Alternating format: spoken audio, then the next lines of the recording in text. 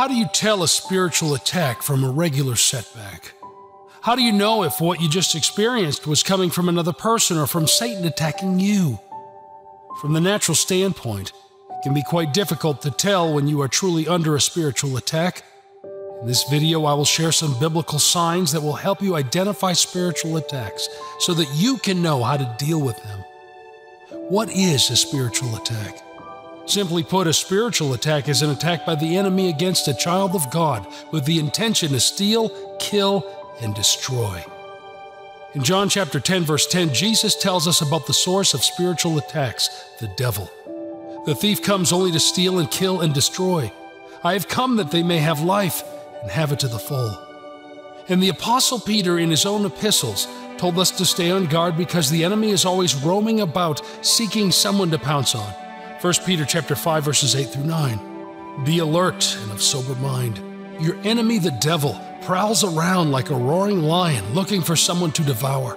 Resist him, standing firm in the faith, because you know that the family of believers throughout the world is undergoing the same kind of sufferings.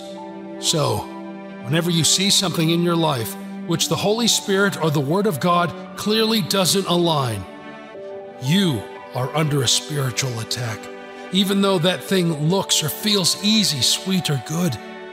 Here are some biblical signs to watch out for so that you can properly identify and deal with spiritual battles the right way. Number one, you are under constant exposure to temptations and sinful tendencies. A Christian who is in a position where someone or something is constantly and easily luring them to sin is under a spiritual attack. You see, the devil knows that he cannot possess a Christian. Why? Because a Christian is occupied by the Spirit of God, the Holy Spirit. Two contrary spirits cannot live in a single person. Light and darkness cannot coexist. However, the Christian has a challenge. Even though the devil cannot possess you, he can manipulate, deceive, and oppress a believer to try to make them do the thing he would have easily made them do if he could possess them. The devil will always try different means to divide your focus and test your allegiance. He wins the fight each time he successfully gets you to do what he wants and displease God. How does the enemy send you temptations? He will use those things that appeal to your fallen nature, to the flesh. For some people, it's sex. For some, it's lust for power or money. For others, it could be greed. James chapter 1 verses 14 through 15 says, But each person is tempted when they are dragged away by their own evil desire and enticed. Then, after desire has conceived, it gives birth to sin, and sin, when it is full grown, gives birth to death. He knows that these things are powerful and damaging when they get a hold on you. He also knows that it will take help beyond yourself to resist those things because they are things your flesh craves. You have to resist that temptation to watch sexual content on your phone or computer. You have to resist that urge to engage in sexual relations with someone you are not married to. You must resist that urge to steal or falsify those documents. You have to. Your victory as a Christian depends on it, and God has given you the authority of the name of Jesus. James chapter 4 verse 7 says, "So submit to the authority of God, resist the devil, stand firm against him, and he will flee from you." I know it is naturally difficult, but that is why you have the Holy Spirit to comfort you in the storm. Don't worry about how fierce the pressure is. If you can trust the Holy Spirit to sustain you in resisting the devil for long enough, the temptation will pass and the enemy will flee from you. Number two, someone you are connected with, directly or indirectly, is influencing you to compromise your faith and God's instructions. The Bible calls Christian warfare the fight of faith. It is the contest between the Christian, their flesh, and the devil. The enemy's goal is to devour you, and in order to do that, he needs to get you to cast aside your faith. The Bible encourages us to be on guard for this. Your faith is your treasure that you must protect. It will reward you if you stand in it until the end.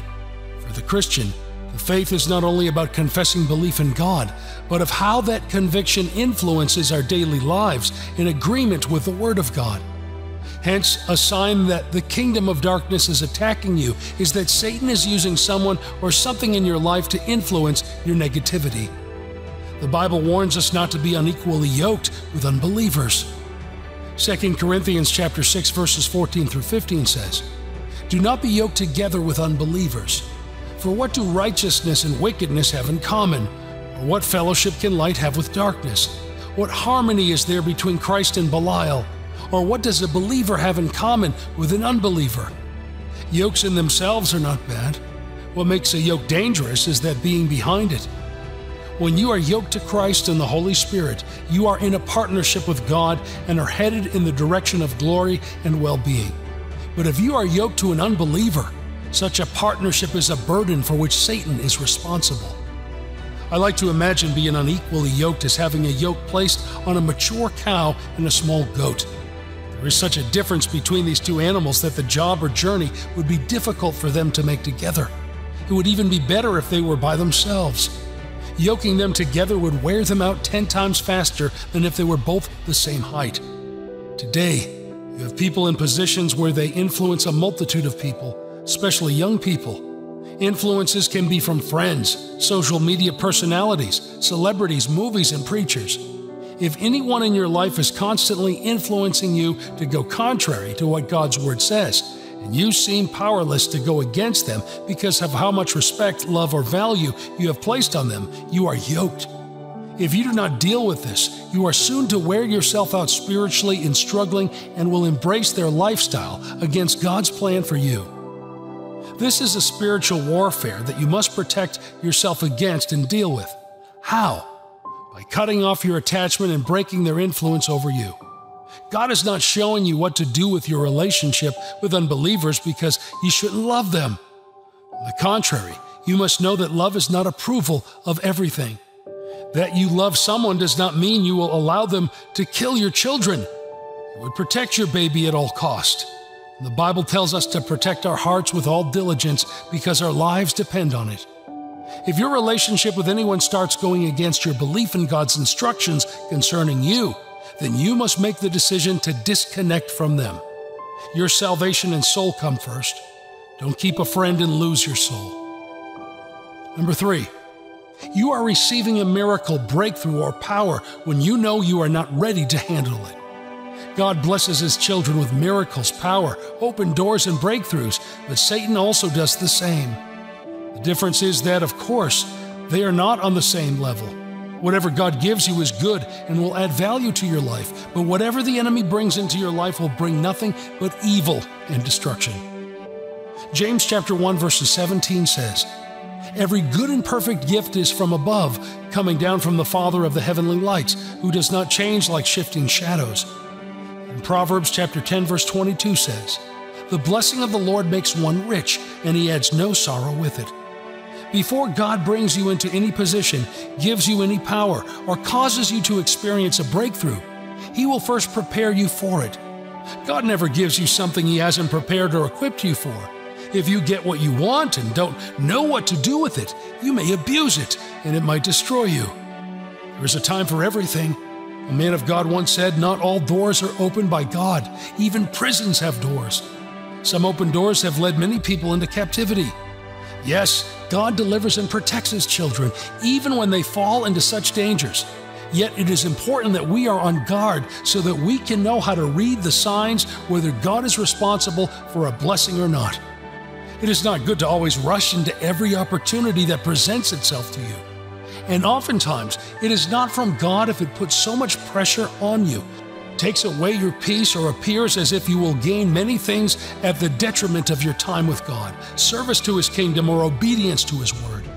So, whether you have just been given a position of power, which you can see that you are not mature enough to handle, or perhaps you are getting offers that look like answers to prayers, but you know it will require sacrificing following Jesus, your spiritual character or values, or your spirituality as a whole to handle it.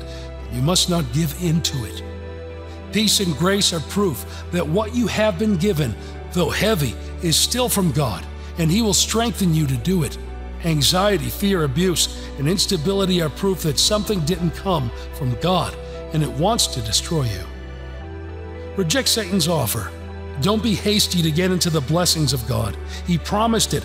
Let Him fulfill it, not you.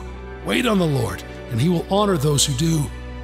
Number four, The things you are seeing in God's Word and according to His visions for you seem out of reach, even though they have come around you. I had to put this in at the last minute because it is an issue. Believers everywhere are dealing with one spiritual warfare or another. Some people come from a family line where no one gets married, and those who do never last. Some are coming from families where people die of one disease or another once they reach 30. Some are watching their children go from obedient and God fearing to rebellious and arrogant before their very eyes. I could go on. Now, please note that sometimes God may allow certain things to happen so that He can carry out His plan for you. However, the Word of God has told us clearly that God does not bring evil on His children. Circumstances may be hard, but they will never be evil. It is not God's promise for your children to die at a young age or from doing drugs. It's not God's promise that you will lose your life the day of your breakthrough. It is not God's will that you have to spend money on sickness that comes anytime you receive money. That, my friend, is the devil, and you are in a spiritual warfare. You must rise up and rebuke the devil over your life, family, and health in the name of Jesus, or else he will continue to have a field day. This warfare, you are not fighting to beat the devil because Christ has already done that. What you are doing is enforcing what God has said over you against what the devil is doing. You have to pray. Fast if you have to, but pray standing on God's promises concerning His children. Thus, you are submitting to God's authority. Then, you can resist the devil and command him to leave your life, loved ones, and possessions alone, and he will. Lastly, number five, you are sleeping spiritually. Most believers do not know this, but spiritual slumber is a thing. That's right. When a Christian is sleeping spiritually, here are some things that will show it. One, they will lack spiritual sensitivity. They won't be able to tell where, when, or how God is moving in or around their lives. Two, they will lose spiritual interests. Things like prayer, studying the Word, fasting, attending church, or engaging in kingdom activities will no longer stir them. They will have an excuse to avoid them or to rush through them without any heart. 3. Because they are insensitive at that time, they will always deny that they are under an attack from the devil. Jesus himself warned us to make sure that we are awake so that when he returns, we won't have dozed off and let go of things we were supposed to hold on to until the end. This does not mean that you should consider everything around you as warfare against you, but it also doesn't mean you should walk around with your guard down. The Lord has warned us to stay on guard at all times for a reason. The devil is always on the move, and you must be intentional about standing in the victory of Christ. When you are awake, you will notice that complacency is creeping in, disinterest in the things of God is creeping in. Lust is attempting to grab hold of you, or a person is obviously sent by the devil, and you will rise up and deal with them. That's why we have the Holy Spirit. He rises up through us and nullifies Satan's attacks on us. We must therefore not be sleeping so that we do not miss these signs nor miss the Spirit when He rises in us. Someone once said, You cannot have a positive life and a negative mind. Negative thinking takes your life out of control and changes your life negatively. In one of our previous videos, I shared how the Lord delivered me from an attack on my mind. I was being attacked with a barrage of negative thinking that was causing serious depression. This depression caused me to be angry at the world and those who genuinely cared about me. When the Holy Spirit intervened, I knew I'd been believing a lie. If you do not overcome negative thinking, it will change your life. It will turn you into what you're not until you can't remember who you used to be. Negative thoughts result in problems such as anxiety, depression, stress, and low self esteem. What are negative thoughts? And what is negative thinking? Negative thoughts include negative or impure beliefs that you might have about yourself, about your situation, about life, and about other people. Negative thinking can affect your mood and emotional stability. It can even be involved in certain mental health conditions. In fact, negative thinking will open the door for the devil in your life. Negative thinking involves thinking thoughts like, I'll never be good enough. They must think I'm stupid for saying that. That situation is destined to turn out badly. I'm all alone and no one cares about me. And she says she cares, but I know that deep down she just wants to get something from me. You need to know, as a child of God, that one place the enemy attacks every human being is the mind. Before he gains access to corrupt or destroy anyone's spirit, he first attacks their mind. If he can attack and beat you in your mind, he will crush your spirit. This is why the Bible says that you must protect your heart with all diligence. Proverbs 4:23. Above all else, guard your heart, for everything you do flows from it. Take note of those words. Everything you do flows from it.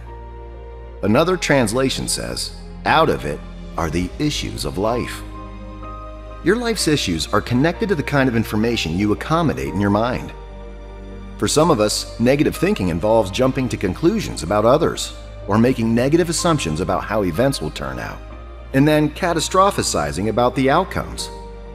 Imagine concluding that your project is about to fail before even finishing it. Believe me, you're setting yourself up for failure in the long run. Remember, everything you do flows from what enters your heart. Perhaps you have a problem with overgeneralization. This means that you use your ideas or perceptions from one experience as your only reference to deal with other future experiences. This will limit all your future experiences as you never go beyond what you already experienced.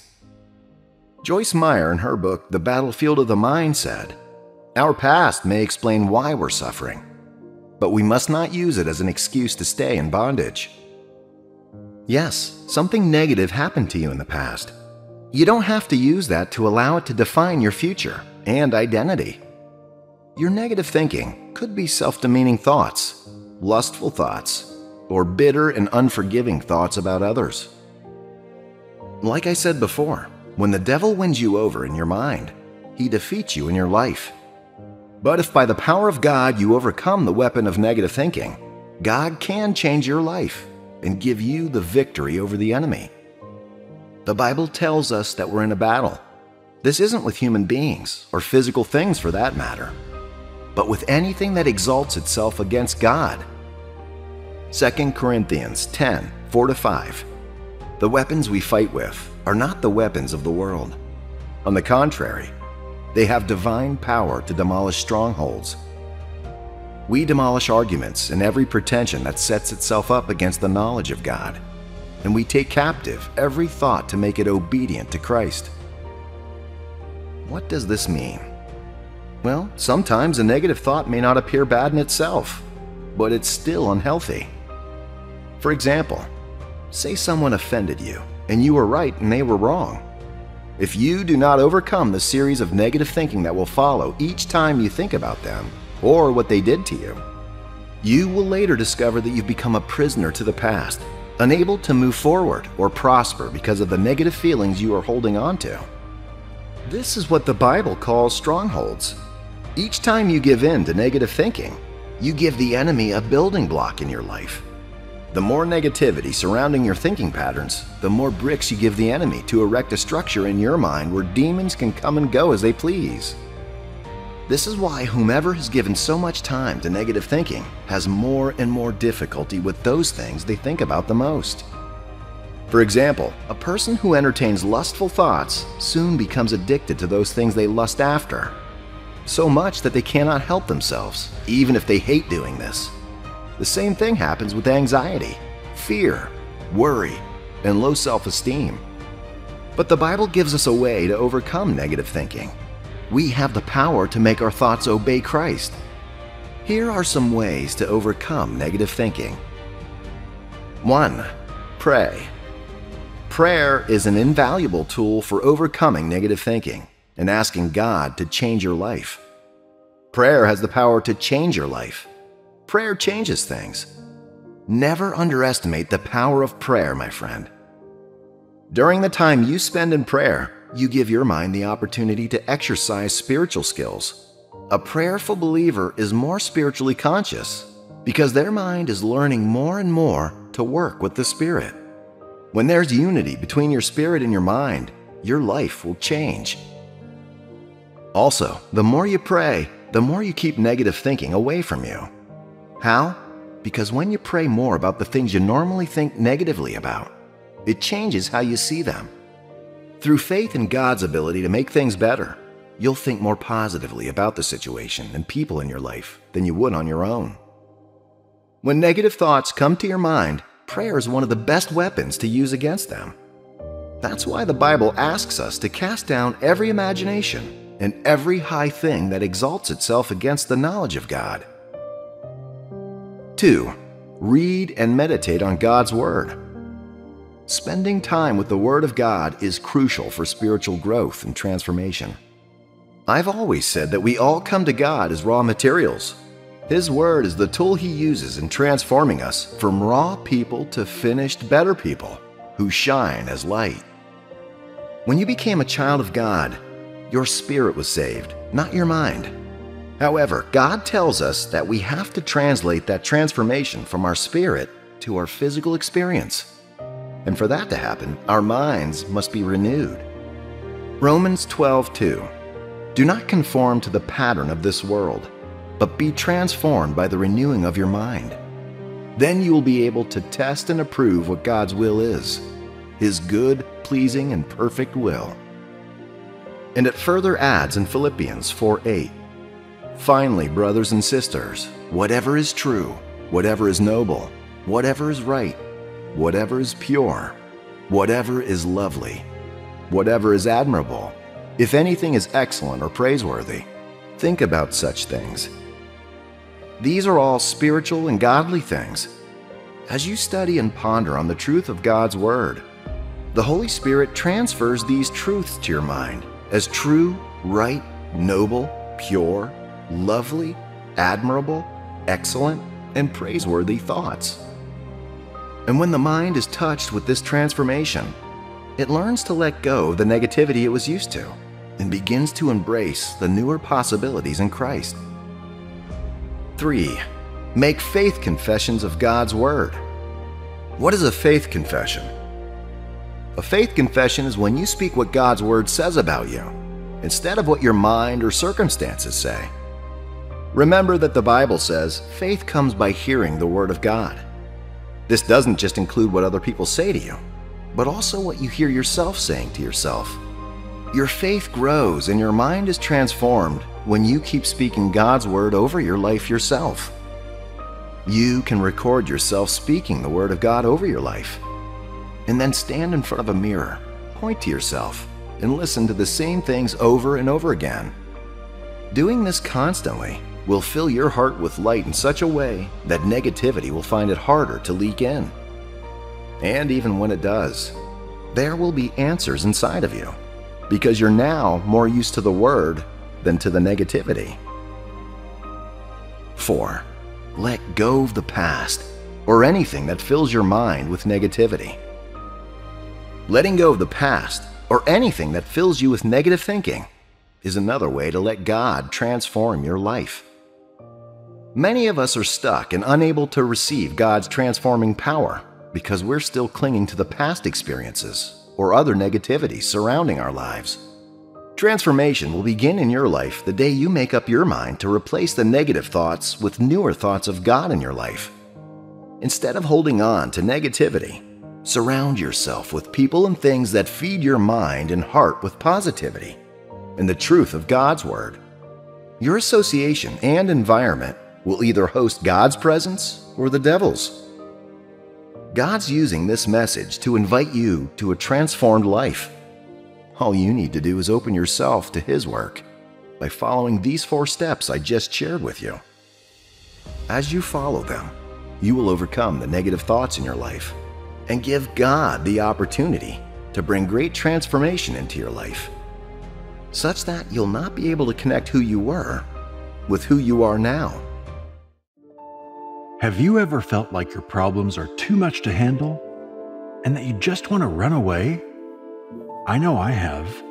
But let me tell you something you're not alone. Over the years, I have spent more time being anxious and worrying about things that are beyond my control than trusting in God and walking through the situations that make me afraid. When we face challenges, it's easy to feel overwhelmed and anxious. But did you know that worrying is actually counterproductive? In fact, it can even harm our health. That's why God tells us in the book of Philippians 4 6 and 7 Do not be anxious about anything, but in every situation, by prayer and petition, with thanksgiving, present your requests to God. And the peace of God, which transcends all understanding, will guard your hearts and your minds in Christ Jesus. To be anxious for nothing, but in everything by prayer and supplication with thanksgiving, let our requests be made known to God. And then, the peace of God, which surpasses all comprehension, will guard our hearts and our minds in Christ Jesus. Jesus himself also tells us not to worry about our lives. In Matthew 6, he says, Do not worry about your life, what you will eat or drink, or about your body, what you will wear. Who of you, by worrying, can add a single hour to his life? He goes on to say that if we seek first his kingdom and his righteousness, all these things will be given to us as well. Now, it's easy to say, don't worry, but it's another thing entirely to put it into practice. So, how can we apply this in our lives? First, we need to recognize that worrying is a habit that we need to break. Just like any bad habit, it takes time and effort to break it. We need to consciously choose to trust in God and give our worries over to Him. We need to focus on the present moment. Jesus tells us not to worry about tomorrow, for tomorrow will worry about itself. Each day has enough trouble of its own. We need to learn to live in the present moment, taking things one day at a time you need to surround yourself with positive influences.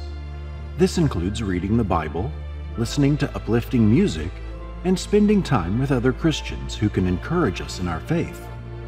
Today, I want to remind you of something that we all tend to forget when we are caught up in the chaos of life. We are children of God, and we have a Heavenly Father who is always there to help us out. All we have to do is ask for His help and trust that He can do what needs to be done. It's easy to get wrapped up in our worries and problems, feeling like we are alone in the world. But we are not alone, and we don't have to bear the weight of our burdens by ourselves. In fact, if we try to do everything on our own, we will only end up feeling more overwhelmed and stressed out. Remember, you are not designed to take on everything and handle everything. You are a child of God, and your Heavenly Father is more capable of helping you through anything that comes your way. So don't be afraid to ask for His help. You see, trying to solve all your problems on your own is a recipe for stress and anxiety. No matter how strong, wise, or capable you may be, you were not designed to handle everything on your own. Now, I know it's tempting to rely on ourselves and look for solutions to our problems in the world. We might think that if we just work harder, plan better, or make more money, then everything will work out. But that kind of thinking only leads to more stress and worry. The truth is, the peace of mind and heart that we all crave can only come from one place, and that is God. He is the one who can give us the peace that the world cannot give. So don't be troubled or afraid, my friends. Put your trust in Him, and He will guide you through any problem or difficulty that you may face. And remember, you are not alone in your struggles. There are many others out there who are going through similar things, and we are all in this together. So reach out to your fellow brothers and sisters in Christ and lean on each other for support and encouragement. In John 14 27, the Bible says, Peace I leave with you, my peace I give to you. I do not give to you as the world gives. Do not let your hearts be troubled, and do not be afraid. Jesus promises us the gift of peace of mind and heart. This is a gift that the world cannot give us. So if you're feeling troubled or afraid, know that you can turn to God for help and find the peace that you need. Think of it this way Imagine that you're carrying a heavy backpack full of rocks. It's weighing you down and making it hard to move forward. But then, someone comes along and offers to carry the backpack for you. You don't have to carry the weight on your own anymore. That's what it's like when you ask God for help. He takes the weight off your shoulders and helps you move forward with ease. Are you feeling overwhelmed and looking for ways to cure your worries? Are you constantly trying to impress everyone and looking for external validation? Well, my friends, it's time to shift your focus inward and turn to the Bible and prayer for strength and guidance. God does not want you to do it all alone. He wants you to recognize that He is there to lead you, walk you through, and guide you through every step of the way. And here's the deal He doesn't want to just give you every resource you need to get through your problems. He wants to be everything you need in every situation. It's amazing how problems can be solved the moment you decide to trust God in everything. When you trust God, you don't have to figure anything out anymore. As you lean on Him, you take the pressure off yourself you don't have to try to change things that you've already tried a million times to change. And the more you try to change, the more frustrated you become. Because you can just finally say, Well, God, I'm trusting you with this. And if you can't change it, then I guess it doesn't need to be changed. The only way you can learn to stop worrying and stop trying to figure things out is to let go and let God take the reins. But let's take a step back and talk about the root of the issue trying to make everyone happy with you. It's a futile pursuit that only leads to anxiety and stress. No matter how great a job you do, there will always be someone who is unhappy with your performance. It's an unavoidable fact of life. Just ask any politician or entertainer. Let's turn to Luke where Jesus and his disciples visit the home of Mary and Martha. Martha is busy with all the preparations, while Mary is sitting at the Lord's feet, listening to what he has to say. Martha is feeling overwhelmed and asks Jesus to tell Mary to help her out. But Jesus responds, Martha, Martha, you are worried and upset about many things, but few things are needed or indeed only one. Mary has chosen what is better, and it will not be taken away from her. The moral of the story is that it's important to prioritize your spiritual well being above all else. Mary chose to sit and listen to Jesus, which allowed her to grow internally and spiritually. Martha was distracted by the external preparations, which caused her to feel anxious and overwhelmed. So, my friends, let's take a page out of Mary's book and focus on growing stronger internally to handle more. Let's prioritize prayer and time in the Bible and trust that God will guide us through every step of the way. Remember, you are a child of God, and He is always there for you. In Isaiah 40, 30, and 31, it says, Even youths grow tired and weary and young men stumble and fall. But those who hope in the Lord will renew their strength. They will soar on wings like eagles. They will run and not grow weary. They will walk and not be faint. When we feel overwhelmed, we can just say, God, I don't know what to do. Help me, please. We don't have to have all the answers or solutions. We just need to go to the one who does have them have you been on an emotional roller coaster? One moment you're up, and the next you're down. It's exhausting. But the good news is that God is always there to take care of us. We don't have to worry about the small stuff. Our worries can increase when we experience sudden or tragic events. But they can also pile up over time when the daily burdens of life weigh us down. Even good things like new opportunities can cause fear. So, What do we do when we face challenges and fears? We give them to God. We trust that He will take care of us. In Philippians 4 6 and 7, NIV, it says, Do not be anxious about anything, but in every situation, by prayer and petition, with thanksgiving, present your requests to God, and the peace of God, which transcends all understanding, will guard your hearts and your minds in Christ Jesus. It's okay not to have all the answers. It's okay to be vulnerable and ask for help. We're all human, and we all have struggles. But we're also children of God, and that means we have a loving Father who will never leave us or forsake us. So, let's surrender our worries and fears to Him and trust that He will renew our strength. Remember, you are a child of God, and He loves you more than you could ever imagine. You see, life can be tough sometimes we face challenges that make us feel weary and weak. We may feel like giving up or running away from our problems. But if we are wise, we go to where there is help. We bring them to God. Because here's what God says to us in Isaiah 41 Do not fear, for I am with you. Do not be dismayed, for I am your God. I will strengthen you and help you. I will uphold you with my righteous right hand. God gives us strength when we are weak. He sees and knows everything. He sees the future and understands every angle of what is going on in your life right now.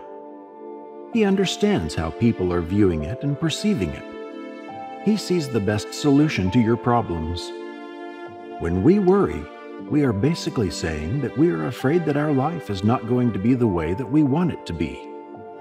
But when we trust that God has the best solution, we are saying, God, I believe that you have the best way for me, even if it's not the path that I choose or that I came up with. We can trust that if we follow God and trust Him, He will give us every resource that we need every step of the way. And at the end, he can turn that into something wonderful and beautiful. Gaze upon the grandeur of stillness, for it is in this silent sanctuary that the divine essence speaks, echoing the familiar phrase, I am God. This phrase, lifted from the sacred book of Psalms 46:10, is more than a mere verse. It is an invitation, a gentle beckoning to rest in the divine presence to hush the clamor of worldly distractions and to listen.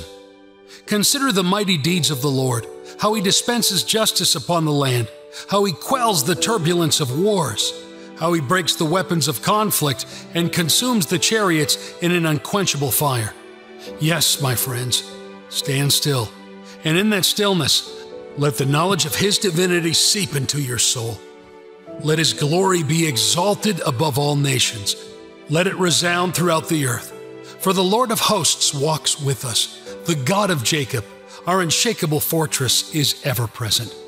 Psalms 46, with its rich tapestry of imagery, reassures us that in every circumstance, every ordeal, the Lord remains our refuge, our strength, and our bulwark against the tempests of life. The refrain, The Lord of hosts is with us, echoes not once, but twice reinforcing his unfaltering presence amidst our trials. Psalm 46 is a narrative spun in the third person, a narrative that seeks to remind the reader of the Almighty's omnipotence and his active involvement amidst our struggles. And yet, as we arrive at the 10th verse, a fascinating transformation unfolds. The narrative perspective shifts, pivoting from a third person perspective to a more intimate second person view. No longer does the verse speak about the Lord. Rather, in a profound twist, it is the Lord Himself who addresses us, the readers and listeners, directly. It is in this moment of direct address that we find ourselves face to face with the divine in a deeply personal encounter with the Almighty. We are urged to lay down our burdens, to still our trembling hearts, and to stand firm in our faith, secure in the knowledge that God is with us by our side. This profound message is our anchor, our beacon of hope in trying times. Whether young or old, this timeless wisdom rings true. It inspires, it uplifts, it resonates. Through it, we are reminded that no matter the trials we face, we are not alone. So, my dear friends, let us be still. Let us stand strong in our faith, and let us always remember God is by our side. In the hushed silence of the hearts, let us invite the Lord's presence and hear his divine whisper. Psalms 46:10. Be still and know that I am God. I will be exalted among the nations. I will be exalted in the earth. We recall Apostle Paul's prophetic counsel to Timothy in 2 Timothy 3, verses 1 through 9, cautioning him about the challenges that would pepper the chronicles of the church. As people's hearts lean towards self love and worldly pleasures over divine love, they would nurture a cold, unforgiving nature adorned with a veneer of piety, but lacking its true essence. This message echoes through the ages warning not only Timothy but all of Christ's disciples about the deceptive teachers intent on leading the innocent astray. Dear friends, soul aches for a bond with God that is profound as the depths of the ocean, as limitless as the sky. I yearn for an encounter with Him, as intense as Moses' encounter with the burning bush. I long to face the adversities of life, unflinching and unafraid with the courage of Daniel in the lion's den. I aspire to be a humble servant in God's divine kingdom, living a life of purpose, yearning to hear his voice say, Well done, my faithful servant. Yet, I am under no illusions. The adversary will not stand by idly as I strive to ascend the ladder of faith, as I seek to fortify my prayers. The enemy will craft intricate plans aimed to dishearten and distract, to plant seeds of doubt and temptations designed to steer me away from God's divine plan for my life. However, let me assure you, I am not daunted. I refuse to live in fear or anxiety, for I am empowered by the divine who resides within me, infinitely mightier than any foe that threatens from the outside. Even as God prepares to elevate me and the adversary gears up to challenge, I stand firm, unshaken with the victory banner of Jesus held high, I commit to clothe myself with God's full armor, standing strong in faith forever and always. Remember, no matter the trials or tribulations that beset your path, stand firm and be still with God. Embrace the strength of your faith and know, beyond any doubt, that God is still by your side. He is your refuge, your strength, your ever present help in times of trouble. So, be still and stand strong in faith, for the Lord of all creation is with you always. In the silent whispers of our hearts, there's a call that resonates, echoing the words, Abide with me, Divine One. Or perhaps you found yourself in quiet contemplation pleading, Are you there, Savior? Or maybe, Empower me, Heavenly Father. It's remarkable how a quartet of humble voices can encapsulate a universe of emotion over the years, as I've journeyed through life and faith, I've come to a profound realization. The longing of His presence has magnified in my heart. The desire for His companionship has intensified, and the yearning for the Almighty to remain steadfast beside me has amplified. What lies beneath this deep seated longing, you might wonder? The answer is simple it's my utmost need for the Messiah, Jesus Christ I've tried charting my own course to no avail. I've encountered the bitter truth that without His guiding hand, victory remains elusive, breakthroughs turn into mirages, and peace of mind becomes a distant dream. Therefore, my soul yearns for Jesus Christ, the only one who has extended an unconditional invitation in Psalm 55:22, which says, Cast your cares on the Lord, and He will sustain you. He will never let the righteous be shaken. I'll confess. During trying times, my heart often repeats a simple mantra, a prayer whispered in faith Stay with me, Jesus. Stay with me, Lord. In moments of temptation, my spirit softly implores Fortify me, Lord, fortify me, Jesus. And if you find resonance in these words, I urge you beloved child of God, to remain unyielding in the word of the Lord. Embrace the stillness, yet stand strong in your faith. Remember, God remains by your side, a steadfast pillar of strength and a beacon of divine love. His presence is a constant reminder that no matter the battles you face, you are never alone. God is with you every step of the way, offering His unwavering support and guidance.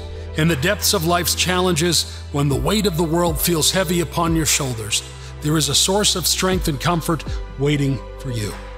It is in those moments that you must take those burdens, those things that weigh you down, and surrender them to the loving embrace of Jesus Christ. Just as the psalmist declares in Psalms 121, verses 1 and 2 I lift up my eyes to the hills. From where does my help come? My help comes from the Lord, who made heaven and earth. Today, my dear friends, your help comes from the Lord as well. The wisdom of David, a man after God's own heart, when faced with trials and tribulations, David cried out to the Lord. Before he sought answers from anyone else, before he jumped to conclusions or questioned why things were happening, he reached out to the name that is above every other name, the name of Jesus Christ. Like David, I encourage you to cry out to the Lord for yourself. Call upon the Lion of the tribe of Judah, the one who has the power to calm storms and bring peace to your soul. In the midst of this chaotic world, it's essential to be sober and alert, for our adversary, the devil, prowls around like a roaring lion, seeking someone to devour.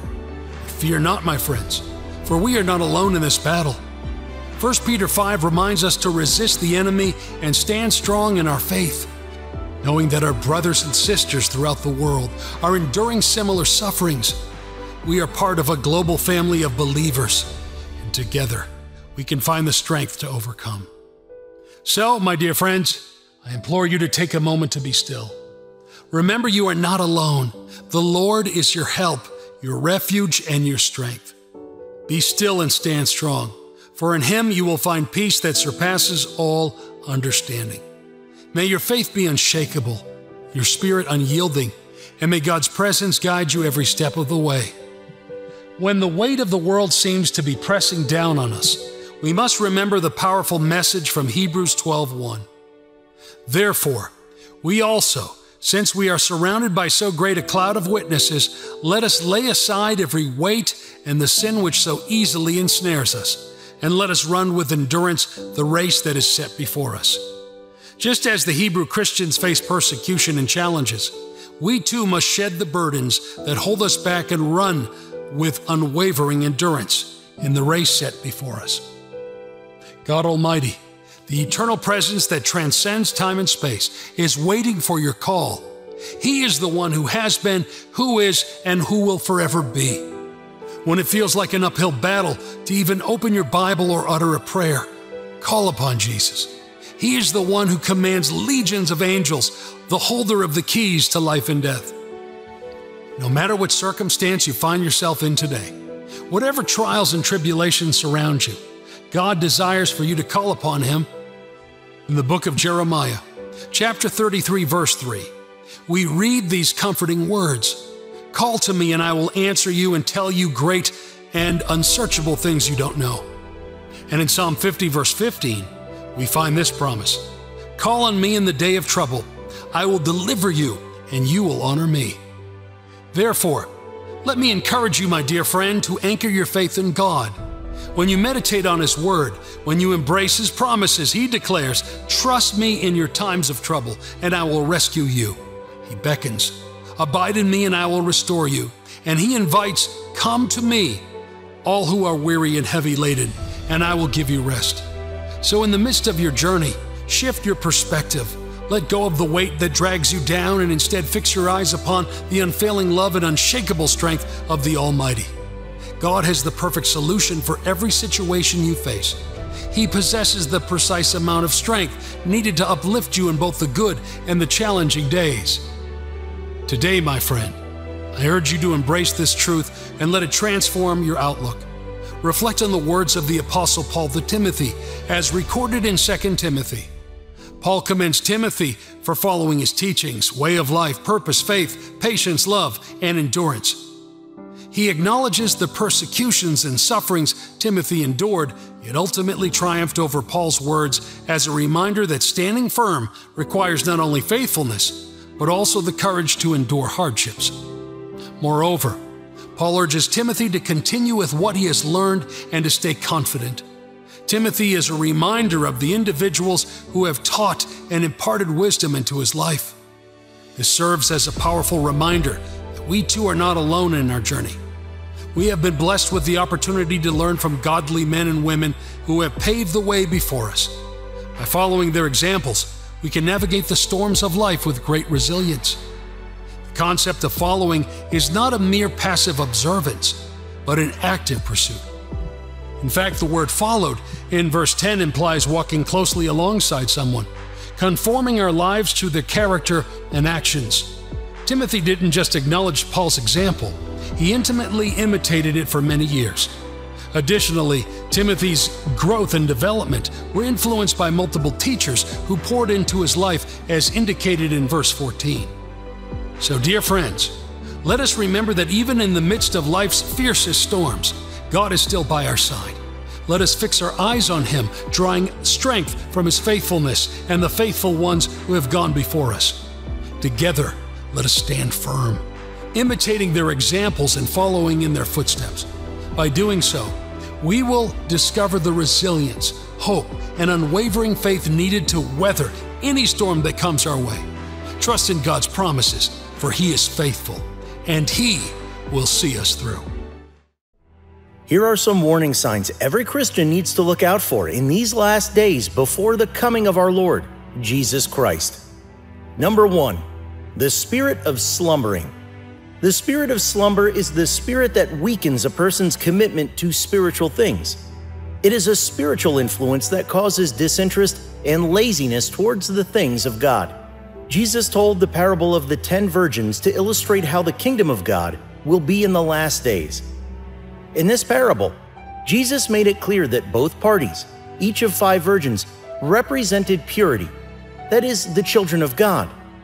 The parable was not one for the word, but a warning to believers who already had the light, or as in the case of the virgins, the lamps and the oil. Jesus said that while the virgins waited for the arrival of the bridegroom, they all fell asleep. Both the wise and the foolish parties fell asleep. While they were asleep, the announcement was made of the arrival of the bridegroom.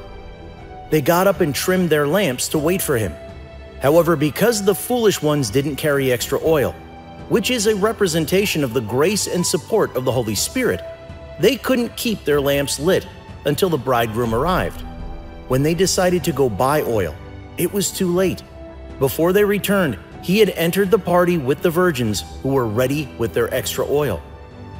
Another parable Jesus gave on this subject was of the wheat and the weeds in Matthew chapter 13. Jesus shared of a man who sowed good seeds but woke up to discover that there were both good seeds and weeds in his field. Jesus said that as the man slept, his enemy came secretly and planted weeds among his good seeds. The spirit of slumbering will render the believer inactive or passive towards things they should be active about. This is one of the warning signs every Christian should be watching out for in these last days. Those distractions that want to keep you away from prayer, studying the Word, attending church services, or obeying God's Word. Those things want you to slumber. A sign that you have begun to spiritually slumber is when you notice that the things that interested you before no longer interest you. You have begun to slumber when you can no longer, without praying, studying your Bible, or fellowshipping with other believers. The Bible calls us to awake from every slumber and to receive the grace of the Lord to enable us to be on our guard and await his arrival. Ephesians 5 14 through 17 says, This is why it is said, Wake up, sleeper, rise from the dead, and Christ will shine on you. Be very careful then how you live, not as unwise, but as wise, making the most of every opportunity, because the days are evil. Therefore, do not be foolish, but understand what the Lord's will is. One of the dangers of spiritual slumber is that, like the farmer who sowed good seeds and went to sleep, you will give the enemy, the devil, room to come in and plant seeds of diversion and destruction in your life. Before you know what is going on, you would realize that you're becoming comfortable with things that you normally would never tolerate in your life. That is a sign of slumbering. When you slumber, you allow the enemy to plant things in your life that develop to dampen your spiritual sensitivity. I pray that the Lord will awaken each one of us from every slumbering and shine his light on us. In Jesus' name. Another sign to look out for in these last days as a Christian is number two, the increase in sin and sinfulness. Jesus said that in the last days, iniquity would multiply. Nowadays, you do not need to have a television to know what is going on in the world. You do not need to see the news to know how degenerated the world has become. The world has always been spiritually dead but there were still some strong moral values being upheld in society. However, today, almost every sense of morality has been thrown out the window. Every form of sin and abomination known to the imagination is being explored and normalized in the world. We can wail all day, but it won't change the fact that these are all signs that the end is here. Although Christianity is not only about morals, we know that every good form of morality is upheld in our faith. The Bible teaches us a lot about morals because they have a place in our worship of God. The level of sinfulness in the world today is proof and a warning sign that the end is here, and we must be on our guard. There was once a time when certain things were done in secret. Many people did not have the boldness to try them out because society frowned at them. This kept many temptations and pressures in check. However, the enemy has since stepped in to raise up pillars of temptations across the fields and platforms. Many forms of ungodliness and diverse abominations are being presented to us every day, even when we are in the comfort of our own homes. We must pray the Lord's Prayer that says, Lead us not into temptation, but deliver us from all evil. And we must make sure we avoid everything that tempts us to sin. As we recognize this warning, it should help us to keep ourselves pure and holy unto God, our Redeemer. Because one day we will appear before Him to account for our lives, and not one of us knows when that day will be. Another warning sign we must be on the lookout for as Christians is number three, love for self over love for God. The Bible says in 2 Timothy chapter 3 verses 1 through 5, "But mark this, there will be terrible times in the last days.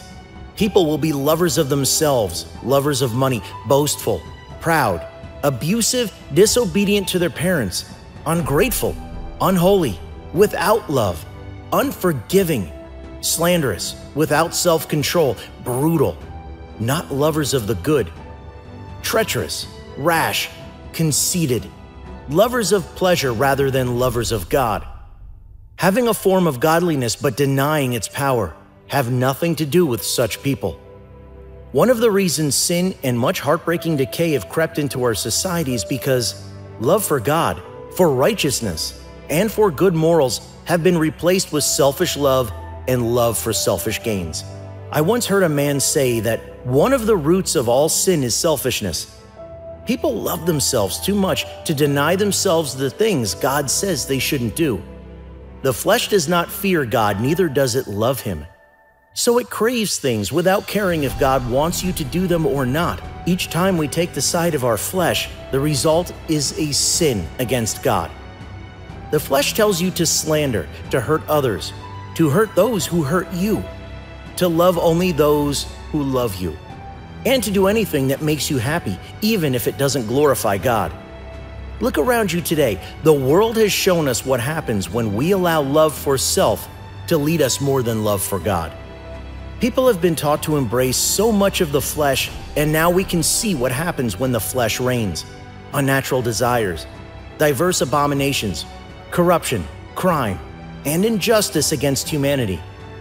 Many parents have resorted to homeschooling their children because of the pollution spreading into our educational sectors. As fearful as it sounds, until the Lord comes, it will continue. However, as children of God, we must understand that these are warning signs from God of the end. These are signs for us to note and be weary about. Keep yourself and your family in the fear of the Lord. We are not led by our flesh or feelings, but by the Spirit of God. And lastly, another sign that warns every child of God in these end times is number four, the falling away of many. One of the crucial signs that will characterize the end is the falling away of many from the faith. Jesus himself warned us that this would happen. In fact, many of the elect, saved believers, will be deceived in the last days and turn from following him. He said in Matthew 24 10 through 11, At that time, many will turn away from the faith and will betray and hate each other. And many false prophets will appear and deceive many people. And with that, the apostle warned Let the person that thinks he stands be careful, or else he will fall. So, in these last days, it's not about how strong you are, but about how dependent you are on God's grace to sustain you. In these last days, even the strongest of saints might become a victim. In these last days, there is a mass deception going on, even in the body of Christ, being orchestrated by false teachers and false believers. The aim is to drag as many believers as possible away from the saving truth of Jesus. Many people have turned from the faith because someone offended them, and they couldn't let it go. Others are turning because they feel disappointed by God some are turning because they aren't patient enough to wait until God meets their needs when the devil promises to meet everything at once. There are those who are turning even without knowing, and so the list goes. As a child of God who is sensitive about the things of God, you must know that these things are a warning sign from God. And what did Jesus say to do? He said in Matthew 24 30 through 33, Then will appear the sign of the Son of Man in heaven.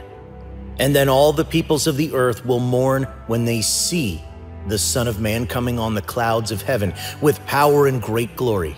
And he will send his angels with a loud trumpet call, and they will gather his elect from the four winds, from one end of the heavens to the other. Now learn this lesson from the fig tree. As soon as its twigs get tender and its leaves come out, you know that summer is near. Even so, when you see all these things, you know that it is near, right at the door. The purpose of these signs is to help us remember that God fulfills His word and never fails. So if you are like the virgins and have fallen asleep, you have to wake yourself up and get extra oil to keep your light burning so that you do not lose yourself. The purpose of these warning signs is to challenge us to keep standing for truth of God's light and never give up, no matter what happens. The purpose is to encourage ourselves that soon all the struggles and pain of this world and the difficulties that we have to deal with are about to end.